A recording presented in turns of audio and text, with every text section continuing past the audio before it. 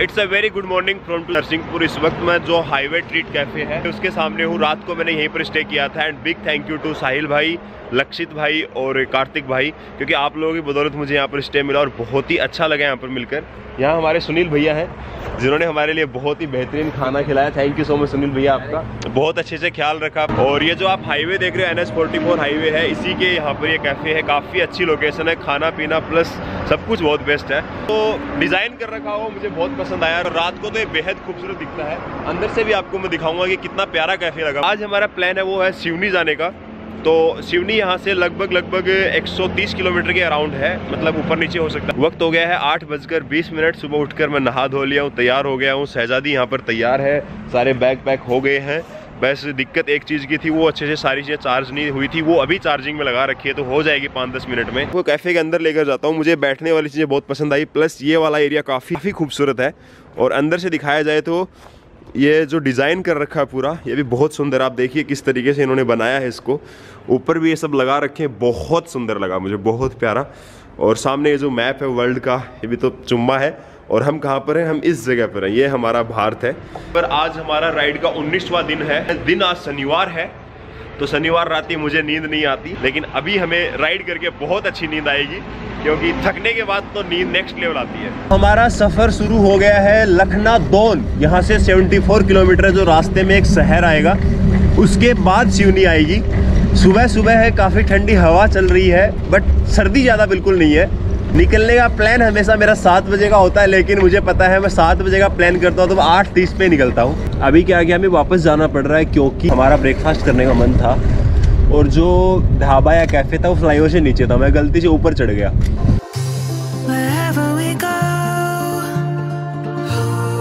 What's your name? Samir. What? Mohammed Samir. Mohammed Samir, okay. Hi Anna, hello, how are you? नमस्कारम नमस्कारम सुगाड़ो okay so आप सभी लोग मल्लपुरम अरे यार मतलब दिल जीत लिया मल्लपुरम वाले लोगों ने। इतने सारे बंदे मिले हैं। साइकिलिस्ट हो गए। ओ या या डे सेम टू सेम आप इधर का? मैं राजस्थान। राजस्थान हाँ। अच्छा। कहाँ जा रहे हैं अभी? कन्याकुमारी। कन्याकुमारी है। झुंझुनू जिला। बस इतने बहुत है। थैंक यू उठा के भाई। थैंक यू सो मच भैया। बहुत बहुत धन्यवाद। साइकिल से सफ़र कर रहे हैं भैया। आप लाइट हो लाइट चल रहे हैं। भाई चल रहा हूँ। नमस्ते जी। मैं फ़िलहाल नरसिंहपुर से आ गया हूँ गन्ने खा रहा हूँ। जी जी। प्रतिदिन आप साइकिल से कितना सफ़र कर लेते हैं? मैं लगभग 150 किलोमीटर पर डे। या। और नाइट में रुकते कहाँ जहाँ भी जगह मिलती है वहाँ टेंट लगा लेता हूँ। बाकी लोग बहुत मदद वाले मिलते हैं। आपका भी कैमरा चालू है? मेरा भी कैमरा चालू है। अच्छा। इस वक्त मैं एक जंगल में हूँ जहाँ पर बहुत सारे जंगली जानवर भी हैं ऐसा लिखा हुआ था रोड पर। अपना ध्यान रखें, गाड़ी धीरे चलाएँ। मुझे मिले गन्ने, बहुत सारे गन्ने खा लिए। अभी यहाँ पर खड़ा होकर गन्ने गन्ने खा रहा हूँ और बहुत ज़्यादा बहुत ज़्यादा मज़ा आ रहा है कि यहाँ से उस जगह पर अगर आप देख पा रहे हो तो वहाँ पानी भरा हुआ है। मन कर रहा है एक दो बंदा होता तो उस तरफ़ चले जाते बट नहीं, अभी हमें हाईवे फॉलो करना है। और अभी निकल रहा हूँ यहाँ से, वक्त हो गया है ग्यारह बज के पंद्रह मिनट।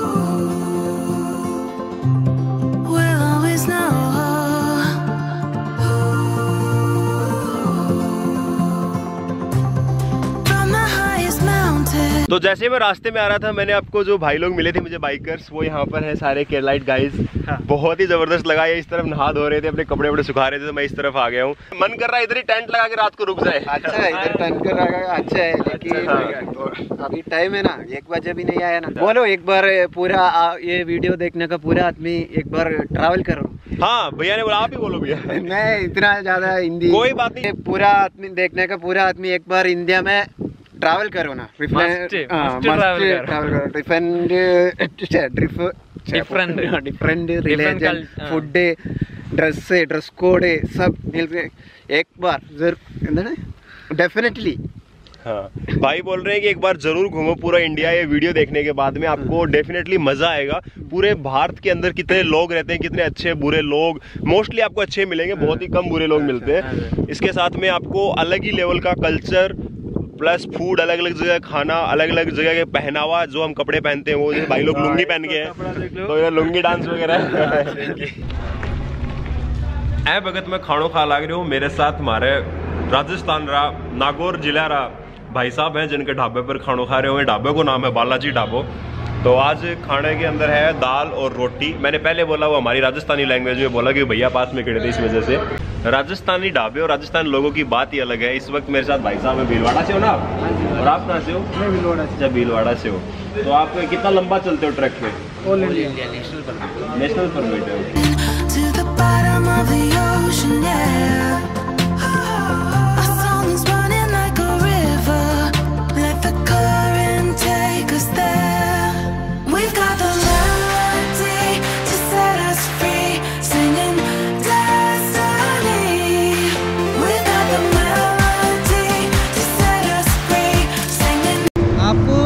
पेज पे चढ़ाई है समतल है?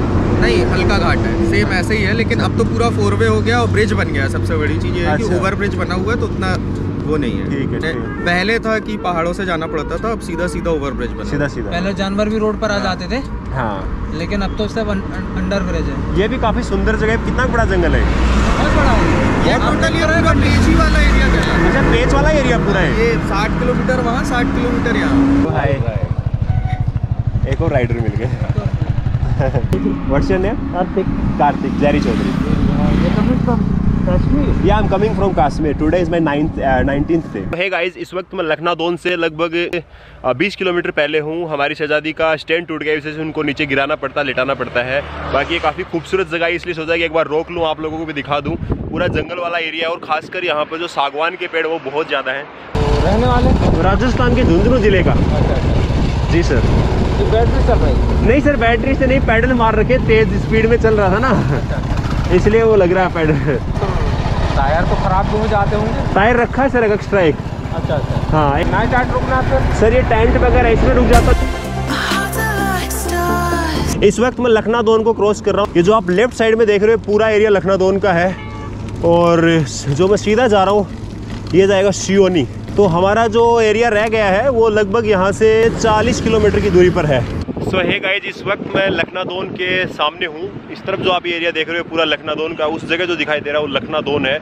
और लखना दोन मुझे लगता है, वहाँ पर कोई लखन नाम का डोन होता होगा, फिर उसको चेंज करके लखनादोन कर दिया होगा। आई एम सॉरी मज़ाक कर रहा हूँ, ऐसा मुझे नहीं पता बट नाम से ऐसा लग रहा है मुझे। बाकी मैंने गोप्रो को यहाँ पर लगा रखा है तो आप काफ़ी अच्छे वीडियोस देख सकते हो। पैंतीस किलोमीटर का एरिया और कवर करना, उसके बाद हम पहुँच जाएँगे हमारे, जहाँ मैं स्टे कर रहा हूँ उस जगह पर। और आज का तो स्टे करवाया, वो करवाया सावन पटेल भैया है, जो कल हाईवे ट्रीट कैफ़े था, जहाँ पर मैं आया था उसी जगह पर। मुझे मेरी बात हुई, उन्होंने बोला कि हमारे वहाँ पर नॉन है।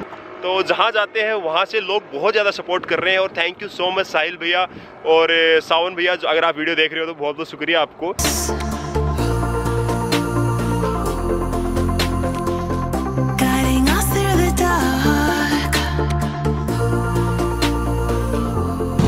इस वक्त मैं सियोनी की तरफ़ जा रहा हूँ और एक जगह पर रुका हूँ क्योंकि सामने दिखाई नहीं दे रहा अंधेरा हो गया है। तो ये हमारी लाइट लग चुकी है साइकिल पे। अभी इसको ऑन कर लिया जाएगा। ताकि सामने का नज़ारा देख सके, दिख जाए सब कुछ। अभी हम जा रहे हैं धीरे धीरे करके नीचे की तरफ़ और अभी जो डेस्टिनेशन है वो लगभग लगभग 18 किलोमीटर रह गया है। इस वक्त काफ़ी ज़बरदस्त घाटी आ रखी है। इस घाटी के अंदर मुझे पहले भी एक भैया ने इतला किया था कि थोड़ा डेंजर एरिया हो सकता है। लूटपाट होती है इसमें। रात को नौ दस बजे बाद ऐसा बोला था मुझे किसी ने। आई डोंट नो होता है नहीं होता है, सच है झूठ है। बट सच में थोड़ा सा डरावनी जगह है। रात में थोड़ा दिक्कत हो सकती है अगर आप साइकिलिंग कर रहे हो तो। काफ़ी ज़्यादा अंधेरा है यहाँ पर। और, या, बट मज़ा आ रहा है, काफ़ी स्लोप है। तो इजीली कवर हो रहा है। अगर स्लोप नहीं होता तो दिक्कत बहुत ज़्यादा होती। अब लेट सी मैं भगवान से गुजारिश करूँगा कि आगे जाकर मुझे फिर से कोई चढ़ाई ना मिले। सारा प्लेन रोड आ जाए। मुझे ढलान भी नहीं चाहिए, मुझे चढ़ाई भी नहीं चाहिए। प्लेन चाहिए।